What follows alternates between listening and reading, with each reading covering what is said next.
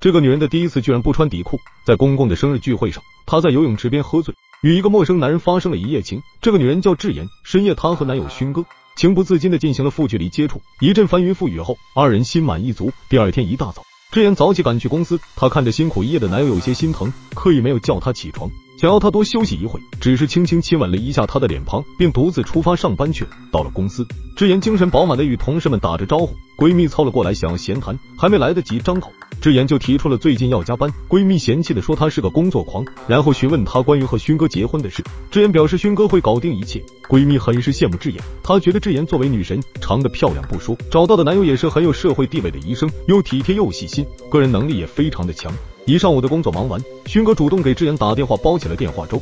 他请求智妍帮他给外包公司打电话，因为勋哥的父亲即将过生日，他准备给父亲举办一个生日聚会。智妍答应了。二人挂断后，他马上打给了全国最著名的 JL 公司，确定了时间地点，对方连连答应。而后智妍又开始了工作。由于工作太忙，压力太大，智妍每天都熬夜处理到很晚才能回家，丝毫没有发现有一个穿着连帽衣的黑衣人一直偷偷尾随着他。黑衣人似乎一直没有找到机会对智妍动手。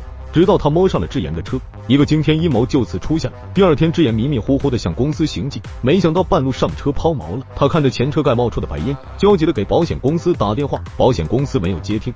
正当智妍焦急的时候，一个英俊的陌生男人骑着摩托车路过，他停下来询问智妍需不需要帮助。智妍告诉他车出现了问题。男人检查了一番，表示现在只能要叫拖车了。周围荒无人烟，人迹罕至。男人好人做到底。索性直接将智妍送到了公司。智妍下车的时候，正好被闺蜜看见。闺蜜一脸八卦的询问，智妍说是车坏了，然后拉着闺蜜一起上了楼。二人合力搞定了最近合作的大项目。另一边，那个男人也来到了公司上班。他踩着点走进公司，正嚣张的在上班时间公然健身的时候，智妍打电话给他表示感谢。他客气了两句，突然说他觉得他们很快就会见面了。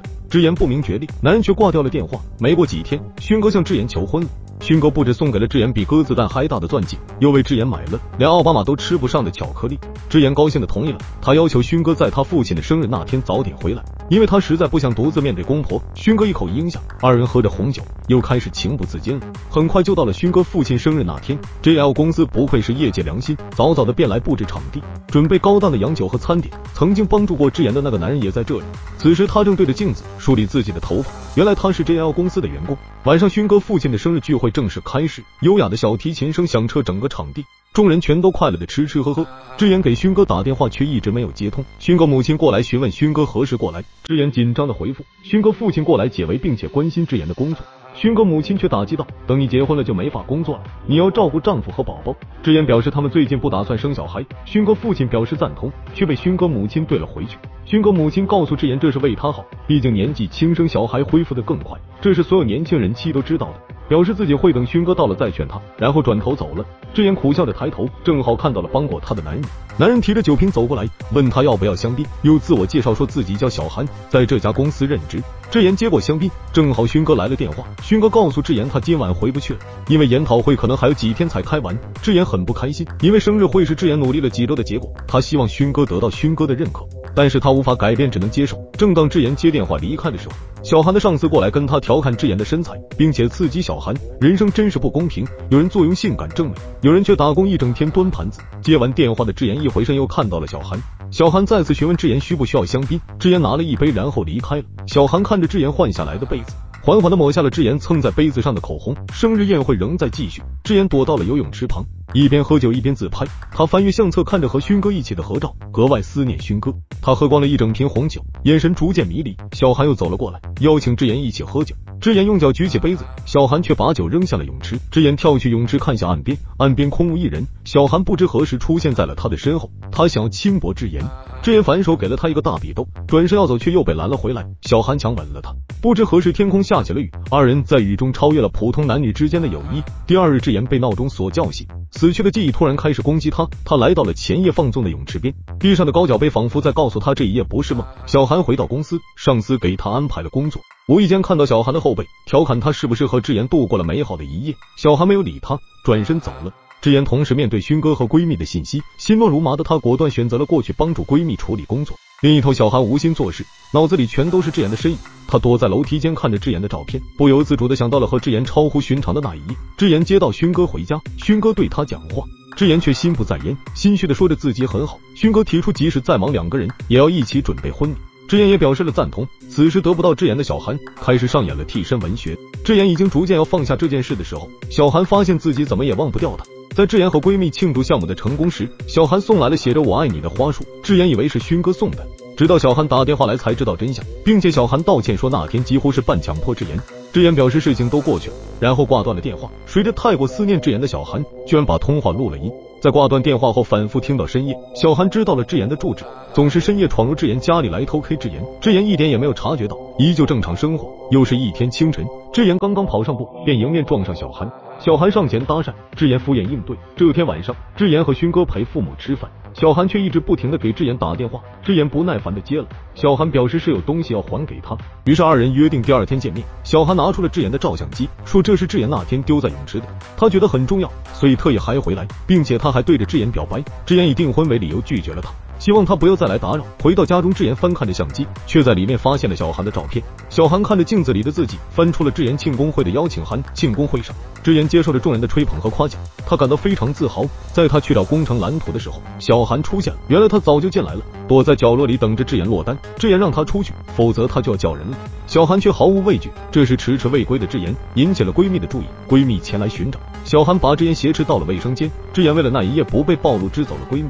他又答应小韩，第二天一定会去找他。小韩相信，于是离开了。第二天，小韩左等右等，却怎么也等不来智妍的电话。他意识到智妍欺骗了他，于是他开始了替身文学。结束后，他越想越气，怒火攻心，把摩托车开到了一百八十迈，赶去了智妍的公司。智妍远远的看到了小韩，急忙躲上了楼。她告诉闺蜜，如果有人来找她，就说她不在。果然，小韩进了公司，闺蜜迎了上去，问他找谁。她说找智妍。闺蜜告诉她，智妍出差了。小韩问智妍何时回来，闺蜜说不知道。小韩悻悻的离开了。闺蜜询问智妍到底发生了什么，智妍实在承受不住压力，告诉了她事情的始末。作为闺蜜奴的闺蜜，自然受不了智妍受一点委屈，她决定去找小韩理论。智妍劝告闺蜜不要惹怒小韩，因为小韩就是个恶人，她不能让闺蜜引火烧身。闺蜜却觉得大不了还会有警察，坚持去了。待她找到小韩的时候，小韩正在擦拭她的摩托车。她警告小韩不许再接近智妍，并且给他留下了一笔钱。却没看到他离开时，小韩望向他愤恨的眼神。闺蜜走后，小韩又玩起了替身文学。当夜，小韩站在智妍家外，发现智妍并没有离开。他等到二人都入睡，给智妍发去信息，威胁他出来。智妍害怕事情败露，只好出了门。小韩愤怒的掐着他的脖子，枪毙了他。他有苦难言，只能警告他离开。勋哥对此全然不觉。这一天。勋哥在地下车库被人袭击，生命垂危。智妍收到消息，立刻赶到了医院。他听护士说，幸亏有人发现送来医院，否则勋哥当场下线。智妍虽有猜测，却不敢肯定。医院也没有留下那位好心人的联系方式。当警察问起时，他敷衍了过去。智妍开始天天在医院陪护勋哥。见不到智妍的小韩又来作妖，他来到了医院探望勋哥。护士介绍，这是送勋哥来医院的好心人。智妍仿佛知道了什么，勋哥热情的与小韩打着招呼。并且将二人互相介绍。他不知道的是，二人早就深距离的接触过了。小韩当做初次见面一样，智妍有些尴尬的与他握了手，而后找理由离开了。智妍来到了警局，向警察实名举报小韩的罪行。警察叫来了小韩，小韩却把一切都叙述的非常合理，听起来毫无漏洞。警察无奈只好放了他。出了警局，小韩咬牙切齿的质问智妍，居然敢报警。智妍没有理他。没几天，有个觉得情况不对，警察查出了真相，因为觉得小韩看向智妍的眼神是色迷迷的，于是认为事情并不简单。加上这种人非常擅长作假身份，经过不懈的努力，他终于查到了小韩的底细。原来小韩有蓄意伤人、未成年抢劫等多种罪名，而且两年前他跟踪过一名女教授，女教授提出控诉，他们很难和解。结案后，女教授便失踪了。警察们看到了小韩的案底，很是担担心智妍的安全。与此同时，小韩怨恨着智妍闺蜜曾经用钱侮辱她，于是闯入公司。追杀了智妍闺蜜，又去了智妍家里。智妍表面配合，却暗地给了她一酒瓶子。小韩虽然被打懵了，但是凭借本能，依旧想和智妍深入交流。智妍拼死反抗，但男女力量悬殊。就在智妍即将被小韩得逞的时候，勋哥出现了。他见到未婚妻被人侮辱，怒火中烧，随手拿起武器像疯了一样猛砸小韩脑袋。小韩在经历了二人的攻击之后，终于下线了。智妍也晕了过去。等他再次醒来的时候，他躺在泳池边上，小韩正端着酒杯向他走来。智妍一时间分不清这究竟是梦还是重生。